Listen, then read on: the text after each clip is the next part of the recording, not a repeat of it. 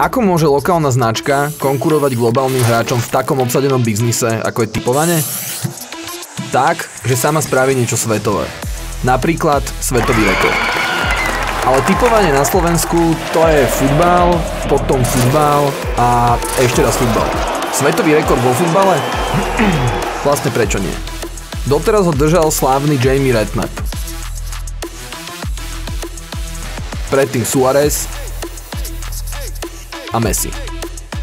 Dobrá spoločnosť, ale my sme im ušli o viac ako 20 metrov.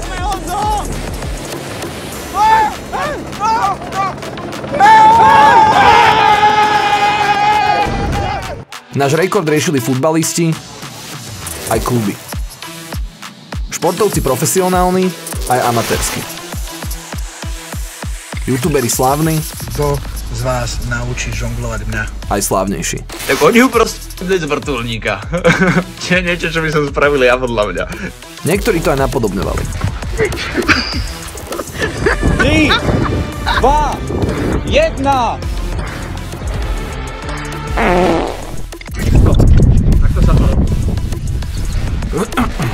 Správa o rekorde sa rekordne šírila internetom. Článok aj s video obsahom prebral ešte v ten deň nový čas, webnoviny, Refresher, Šport, Športky, Šport dnes a 35 ďalších news portálov. A nakoniec sa pridala aj tlač, rádio.